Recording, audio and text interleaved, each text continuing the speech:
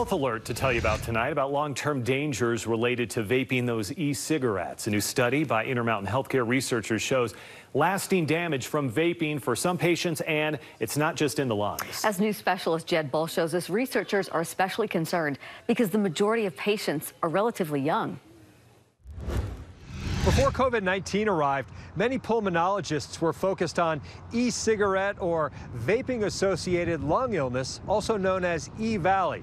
What they're finding now is that not all patients recover. We're still seeing people that come to the intensive care unit with the valleys. Vaping did not dissipate during the pandemic, but some may have forgotten the complications of e-cigarette or vaping associated lung injury discovered nearly two years ago when patients were showing up at hospitals with pneumonia-like symptoms with no explanation. What nobody knew at the time and what we're starting to understand now is what happens to people that have EVALI, um, you know, a year later? Dr. Denitsa Blagev, a pulmonary and critical care physician at Intermountain Healthcare, was the principal investigator. She says not all patients bounce back to normal after they've been treated. Most people do recover, uh, but there's still a significant proportion of patients, um, you know, not the majority, um, that have significant breath Researchers examined 91 patients who suffered from E. Valley one year after their initial diagnosis. Average age 31.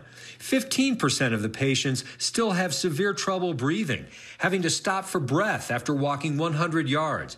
39% have mild cognitive impairment.